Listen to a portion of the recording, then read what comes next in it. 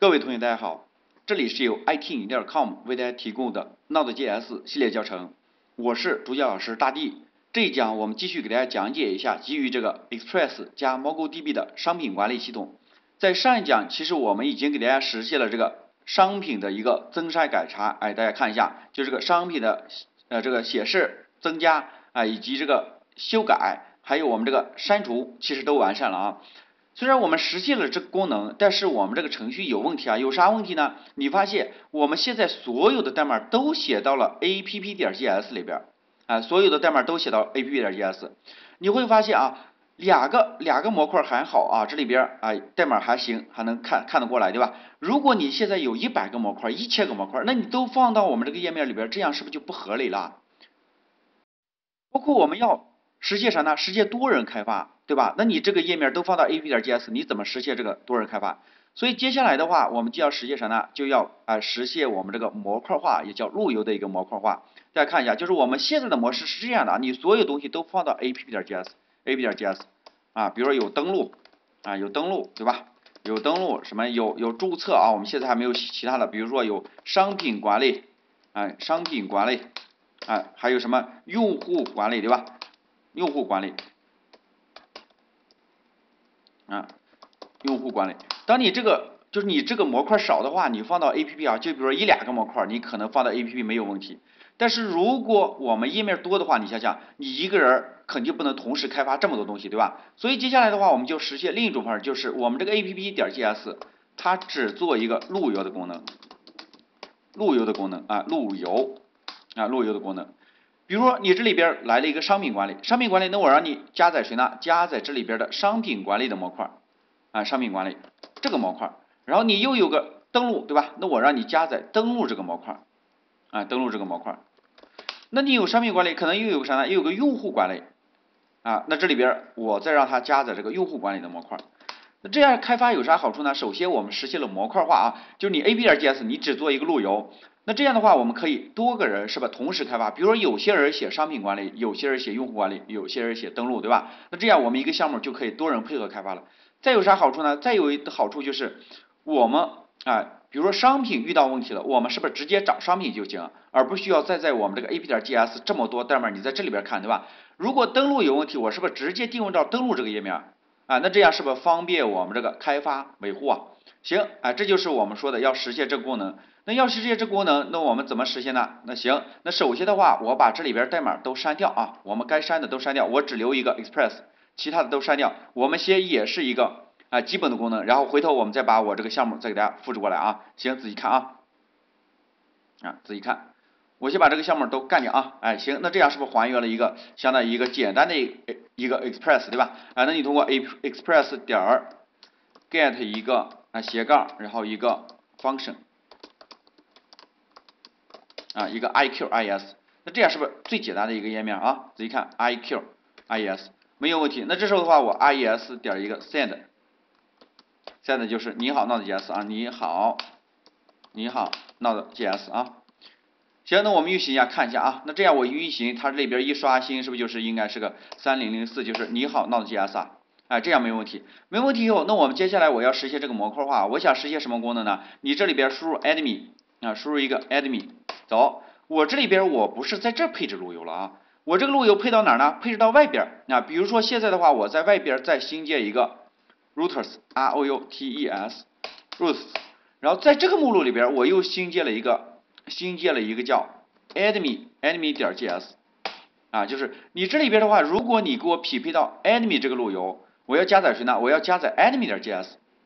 啊，那这个怎么实现呢？那这个其实在我们这个 Express 里边已经给我们提供这样的一个方法啊，仔细看，我们打开这个官方文档给大家看一下啊，官方文档打开，在这个 Express 路由里边，你回头点有个 Express 路由，路由里边你往下拉，它有个 Express Router，然后这么一个东西可以干啥呢？可以创建模块化可挂载的路由聚饼啊，路由聚饼。那我们看一下，它这个是啥意思呢？比如说，你看啊，它这里边告诉你，我首先新建了这么一个 JS，然后这里边写了这么多代码，然后回头我再把这个 router 这个模块暴露，暴露出去以后，然后回头你这里边啊引入这个 board 模块，对吧？引入这个这个模块以后，那我如果匹配到这个路由，我就让它加载这个模块啊，这样就实现了。行，那接下来我们也是这样的一个实现方法啊，比如说我这里边输入啊，输入一个 enemy 对吧？enemy 啊 enemy 我就直接加在 enemy 模块。比如说你输入一个 enemy 下边的 user，那我也是加在 enemy 模块啊，也是加在 enemy 模块。那我们看怎么实现啊？要实现，那首先我们在 enemy 里边，我们需要引入这个 express 啊，引入 express。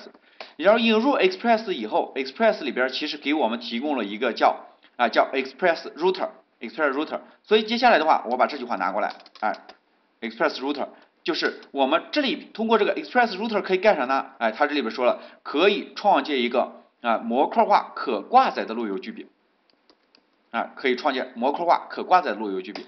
那你仔细看一下，那这时候我们就可以通过 router 这么个实例点 get 啊，就可以配置路由了，对吧？点 get 点 get 一个斜杠，表示你 enemy 进来一个斜杠，那我要做一个处理啊。仔细看，如果是个斜杠，然后我这里一个 function，然后来一个 i q i s 啊，iq ies，然后这里边我 ies 点一个 set set 这是一个 u 呃这个 enemy 啊，enemy enemy index enemy index。如果你这里边来了个啥呢？你这里边来了一个叫 enemy 下边的 enemy 下边的 user，哎，那我给你加在 enemy user 模块，enemy user 模块。那如果你在下边再来，哎，再来了个啥呢？enemy 下边来了一个，比如说叫 product，那我这里边给你加在 enemy product 这个模块。行，那这样这个这个单独的这个路由文件就配置好了啊，就是模块化这个文件就配置好了。配置好以后，你一定要注意啊。它也是一个模块，如果这个模块要让外部可以访问，那我们是不是要暴露啊？你看一下，它这里边也暴露了，是不是通过 module 点 expose 把我们这个，哎，把我们这个 router 这个实例给它暴露出去啊？暴露出去以后，那我们外边就可以访问到这个 router 实例了啊，所以一定要注意，要暴露啊，必须得暴露以后，我们才能访问啊，因为模块化你必须得暴露模块化，哎，暴露啊，暴露这个 router 模块。暴露以后，你仔细看啊，这里边有个 enemy，那我在 A P P 里边啊，A P P 里边，那我怎么做呢？我先把这个去掉啊，先去掉，哎，不去，我就直接啊，直接写，就是如果这里边你仔细看，如果 A P P 点 use 一定要注意，通过中机界来配置 A P P 点 U S E，如果你来了这么个地址，来了 enemy 这么个地址，那我让你加载谁呢？加载 enemy 模块，那 enemy 模块有吗？没有吧？所以接下来我是不是要引入模块？引入啊，引入模块啊。引入模块，引入谁呢？引入我们这个 enemy，那我就 var enemy 等于 iqu ire require 谁呢？require 我们这个模块在哪呢？是不是路由 routers 下边的下边的 enemy 点 js 啊？那这样这个模块就引入了。仔细看啊，enemy 点 js。那行，那你这里边啊，我们运行一下看一下啊，就是你只要输入 admin 以后啊，它就去加载谁呢？加载这里边的 admin 模块，打印这个信息。你看一下啊，我们这里边运行一下，给大家看一下啊，然后我刷新一下，是不是输出一个 admin index 啊？它这个代码还是走谁呢？它是走这儿。你这样一运行以后，你看啊，如果啥都不输入，是不是一个找不到这个路由？但是如果这里边输入一个 enemy 啊 enemy，它去匹配谁呢？首先这里边有 enemy，它匹配到了，匹配到了加载我们这个 enemy 模块，加载 enemy 模块以后，那 enemy 模块以后，呃，enemy。模块里边有个斜杠，所以它这里边啥都没写，就表示加载了我们这个斜杠这个模块，就是 enemy index。那如果你来了个 enemy 什么呢？user 走，就加载了我们 enemy user。如果你又加载了 enemy product，那就是 enemy product 这个模块。啊，那这样我们就实现模块化了啊。那你再仔细看，再仔细看了啊。那如果现在我们有个 index 模块啊，index，那我就直接复制了，有个 index index 点 js。那 index 里边那就是啊 index 首页，index 里边比如说有啥呢？有商品啊，有商品，那就是啊商品页商品页面啊，就是商品页面，商品页面这个没问题吧？来，那这时候的话，我们再在这里边，你是不是要加载我们这个 index 啊，引入我们这个 index 啊，我们这个前台的一个模块啊？这样的话，我们就相当于实现模块化了。然后这里边 index 引入我们这个 index，然后这里边如果你这里边传入的是一个斜杠。我加载谁呢？加载这个 index 模块，加载 index 模块。哎，那你这时候看一下啊，我们运行一下，看一下对不对啊？我们运行一下，你仔细看啊，如果我这里边啥都没输入，啥都没输入，它匹配到谁？是不是匹配到斜杠？匹配到斜杠以后加载谁呢？是不是加载我们 index？index 是不是在这儿？加载了我们这里边。如果你这里边你再看，如果我输入一个 product，p r o d u c t 啊 product。那这时候它是不是就加载了我们这个 product 这个模块？哎，那你看一下，输入 product，那 product 你看一下，它在根目录下边找，哎，product，它这里边有 product 吗？没有，没有。那 product 实际上它相当于就是 product 前边是不是有斜杠？所以它在 index 里边找看有没有 product，如果有，是不是就加载了 product 这个路由啊？啊，这就实现了模块化，就这么简单啊。行，那你看一下 product，我们再重新运行一下啊，我改了这个编码，我要运行谁呢？我要运行 app 点 js 啊，一定要注意，我们所有的文件以这里为入口啊。是不 product 页面就实现了？那这样你再回到我们这个图，你看一下，我们 app 点 js 做了啥？是不是做了路由功能啊？路由功能对吧？但是我们这个项目比较大的时候啊，你看一下，这是前台后台。那你会发现啊，虽然你这里边前台后台分开了，模块化了，对吧？但是你发现我们这个 admin 里边，admin 里边它又有这么多模块，对吧？啊，又有一百个模块，你是不是又得写一百次？啊？所以这时候我们又要分离啊。那这里边的话，我在 router 下边我再新建个 admin 文件。目录对吧？然后这里边那我就新建这么几个文件，首先有 login 做登录功能的，那其次的话，我再来还有什么呢？有登录有什么呢？有什么有 user 模块啊，用户管理的模块，还有什么呢？还有我这个 product 商品管理的模块。行，那这样我是不是按钮进来我又要进行模模块化啊？那接下来的话怎么做呢？那我就把这个复制过来放到这几个模块里边，仔细看。那这里边我同样的引入这个 express，引入这个模块，然后这里边斜杠斜杠我就是哎登录登录页面啊登录页面，然后这里边我一个 post，哎登录模块里边是不是有个登录的显示啊？还有什么呢？还有个 do 什么 login，还有 do login。行，那接下来这样就配置好了啊，就这个它是显示登录页面的，然后这里是处理什么呢？处理处理登录登录的业务逻辑啊，处理登录的业务逻辑。啊，那这个 login 就写好了，login 写好你以后，你再看这里边还有个 product 商品管理，商品管理页面，那这时候你看一下商品管理里边，那斜杠表示啥意思呢？表示显示显示商品首页啊，商品首页，然后这里边它是不是有 add 啊？add 叫 get add 对吧？get 一个 add，哎，get add 我是不是显示商品的一个增加？enemy 商品增加显示商品增加。然后在同理，我再写啊，那这里边你是不是这里边写的都是谁呢？是不是都是商品相关的？商品的一个 edit，商品的编辑，还有商品的一个 DELET 商品的删除，商品的修改，商品的删除。行，你发现啥功能？是不是我们商品相关的功能我都写到这里边了？哎，然后还有什么呢？还有用户管理，那你同理把这个复制过来，用户管理的，那我们就先写两个用户管理的，那你是不是都在这里边找用户管理啊？比如说用户管理来个斜杠，那就是显示用户首页，啊，用户首页，用户首页，然后这里边写 add，add 啥呢？是不是就是显示增加增加用户啊，增加用户？那这样是不是就模块化了？你这里边写的是不是都是用户管理相关的模块？用户相关的模块啊？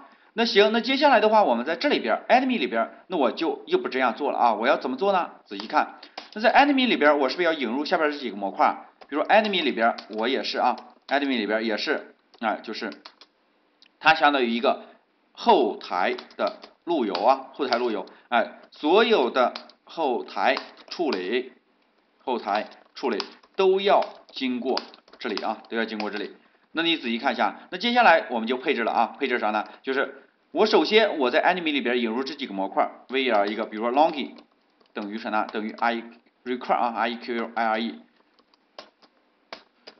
登录的话，引入我们这个点杠 admin 下边的这个 login 点 js，这就是引入了登录模块。那接下来我把其他几个模块也引入啊，你仔细看，那这里边是不是有商品管理的 product product 点 js，还有用户管理用户管理 user，哎 user 点 js，行，引入进来了。引入进来以后，那接下来我要配置路由啊，配置路由。配置路由呢，就是 router 点 use 啊，一定要注意，这里边我们挂载路由是通过 use 柚子来实现的啊。如果你这里边来了个什么呢？是不是来了个 login 啊？我是不是让你加载谁啊？哎，加载 enemy login 加载一个 login 模块。同理，如果你这里边来了一个商品的，哎，那我让你加载商品模块。那同理，如果你这里边来了啥呢？来了我们这个用户管理的，我让你加载用户管理模块。那你这时候看一下啊，那我们这个，哎，我们这个程序是不是虽然嵌套了好多，但是这个模块是不是非常清晰？我们一点点来啊。首先你看一下，我们首先入口是 A P P 啊，入口 A P P 运行一下啊，入口 A P P，如果你这里边输入谁呢？如果你这个地址它检测到啊，检测到这么个地址，仔细看啊，如果检测到斜杠 enemy 这个地址。它就去加载谁？是不是加载 enemy 啊？加载 enemy 这个模块，哎，enemy 这个模块，那这里边是不是就没有匹配到任何路由？但是如果你这里边输入 enemy 下边的 login，那首先它匹配到这儿，enemy 是不是加载 enemy 模块？加载 enemy 模块以后，enemy 又匹配到你这个有个啥呢？有个叫 enemy login 的东西啊，就首先 enemy 匹匹配到这儿，那回头你 enemy 下边有个 login，那这时候它是不是又匹配到这里边有个 login 路由啊？所以又加载了谁呢？是不是加载我们这个 login 啊？加载 login 以后，它默认是不是加载 login 里边的这个登录页面？那同理，如果你这里边输入一个什么呢？如果输入一个啊，就在 APP 里边输入一个 admin 下边的一个 user，admin user，那这时候它这个路由，它首先看一下你这里边有没有匹配 admin，如果有，加载谁呢？是不是加载 admin 模块？那 admin 模块加载完成以后，他又看你这里边后边是啥？是不是 user？user 以后，他这里边找到有 user，有 user 是不是加载 user 模块？那所以这里边打印出啥？是不是显示用户首页？啊，那这就是我们这个模块化就实现了啊！仔细看一下啊，运行一下，仔细看了啊，入口还是我们这个 app 点 js 啊，然后我这边啥都不输入，走，是不 index 啊？当我输入一个 admin 啊，走，它是不是路由找不到？因为你这里边啊匹配到这个 admin 的时候，它是不是 admin 下边没有接听你这个斜杠的路由，所以它这里边是不是找不到啊？但是如果我输入一个，仔细看啊，enemy 下边 login，那这时候它是不是找找到 enemy，找到 enemy 以后找到这个文件，找到这个文件以后有 login 吗？有，有 login 走，是不是加载登录模块？虽然这里边乱码了，哎，它是乱码了啊，乱码重新来一下，它这时候就会加载我们这个登录模块啊。这就实现我们这个模块化了啊！来重新运行一下，运行的时候一定要注意，我们所有的入口以这个 app 点 js 为入口啊。你看我们输入 admin login 走，是吧？登录页面。当我输入 admin 下边的 user 啊，是不是用户显示用户管理的页面？当我输入 admin 下边的 product 走，是不是显示商品页面？哎，那这样的话我们就实现模块化了，就是你这里边路由不同，我是不是加载的模块不同啊？然后回头我每一个模块里边单独处理它单独的一个功能，啊，这就是类似于我们刚才这张图啊，这张图。那你这时候开发的时候，就和我们刚才说的啊，你是不是可以啊，张三开发这个文件，开发登录模块，李四开发商品模块，然后呃，张三李四王五，王五开发谁呢？开发用户管理的模块，互不影响，对吧？是不是互不影响？其次的话，那还有啥呢？维护起来。你比如说你要改商品，商品里边我要改一下商品的一个增加，对吧？那我是不是找到商品模块就行了？我直接改一下商品的增加，改成比如增加商品一，那这样哎，回头一运行，是不是商品模块就改了，对吧？而不像我们以前你找半天找不着，对吧？哎，product 比如说 add。啊，那这是不是这是不是就商品增加的一个模块？因为你这边输入 admin product，它是不是加载到 admin 加载 product？product 里边默认找到 product 加载谁呢？是不是加载这儿？如果你输入 admin 下边的 product add，它首先找到 admin，找到 admin 以后，admin 加载 product，product 里边匹配到 add，所以显示我们这个路由。哎，这就是我们说的模块化啊。那既然我们把它模块化了啊，那接下来的话我们。再把我们那个项目再进行一下改造啊，行，那这一讲我们就先的讲到这里，然后下一讲的话，我们把我们以前的这个写的这个项目进行一下模块化的改造啊。